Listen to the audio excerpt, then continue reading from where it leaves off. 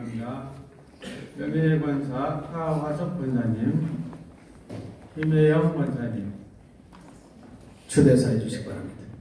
차화석 집사님은 본교의 설립자로 21년여를 충성스레 봉사하고 교우들의 모범이 되며 원혜연 집사님은 본교의 설립자로 15년여를 충성스레 봉사하고 교우들의 모범이 되어 장애의 결의로 명예권사로 초대합니다.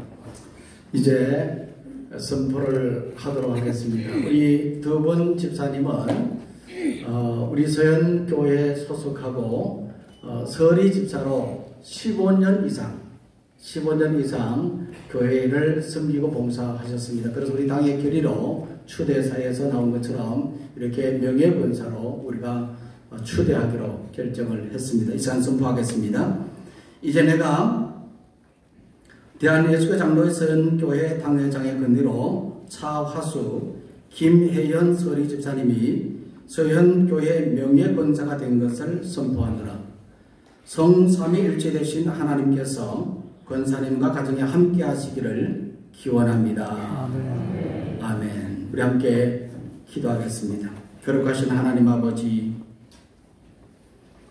저와수 김혜현 집사님을 명예건사로 추대받게 하심에 감사드립니다.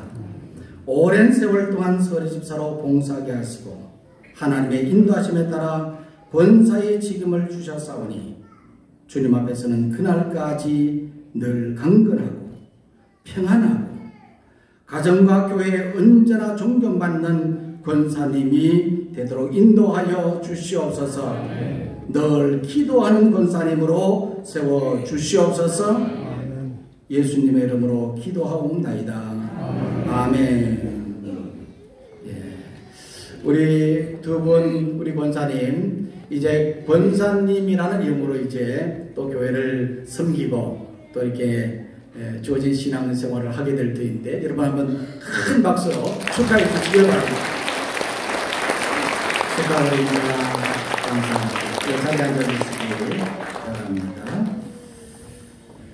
자, 이 시간에는